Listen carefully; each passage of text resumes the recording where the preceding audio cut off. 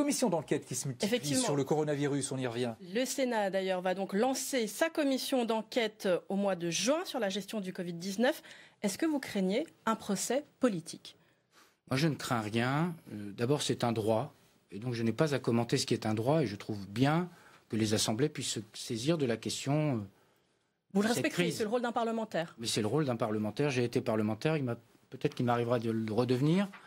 Euh, et donc, je, ne trouve pas anormal que les, parlements se saisissent de la question. C'est valable dans toutes les grandes démocraties. Les commissions d'enquête sont faites pour ça. Il peut y avoir une interrogation sur la temporalité. Est-ce qu'il n'y a, pas lieu d'attendre qu'on soit sorti un peu de cette crise? Parce que jusqu'à nouvel ordre, nous y sommes encore, même si nous sommes en phase de déconfinement pour mener à bien les, évaluations, parce que je pense que c'est une évaluation. Après, moi, je fais confiance à l'Assemblée nationale et au Sénat pour mener un travail sérieux, qui soit un travail d'enquête et pas qu'à charge, parce que la question n'est pas la charge, c'est de regarder ce qui aurait pu être mieux fait, ce qui aurait pu être mieux anticipé. Je, constate d'ailleurs que sur un certain nombre de sujets, ce n'est pas seulement le gouvernement actuel qui peut être questionné, mais c'est les gouvernements précédents. Prenons la simple question des masques et on en rediscute. Qui est centrale Question centrale.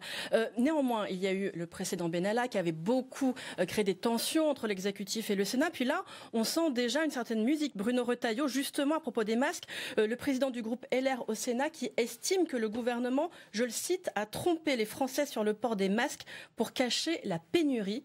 Qu'est-ce que vous lui répondez? Je ne crois pas, mais on n'est pas en commission d'enquête parlementaire et il ne m'appartient pas, n'étant pas ministre de la Santé, de répondre à ces questions qui sont parfois des questions extrêmement techniques.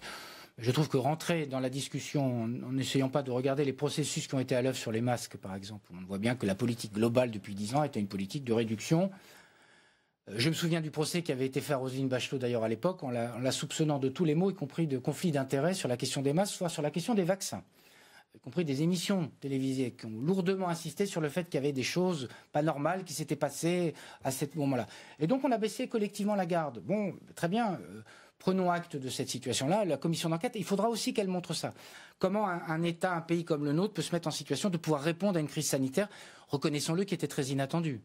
Une dernière question sur cette commission d'enquête. Est-ce que vous confirmez euh, les propos euh, rapportés par le Canard enchaîné qui dit que le 7 mai, en Conseil des ministres, le président de la République a dit le Sénat s'est déshonoré, le temps est encore à l'action, ce n'est pas le moment de jouer les procureurs. Je ne confirme jamais les propos du Conseil des ministres. C'est une règle de base. Bon, alors en tout cas, mais que le Sénat, que le Sénat ne doive pas se transformer en procureur, ça vous. vous, moi, je, je, suis désolé de vous dire, je ne sais pas seulement parce que je suis ministre du relation avec le Parlement, je connais bien le Sénat.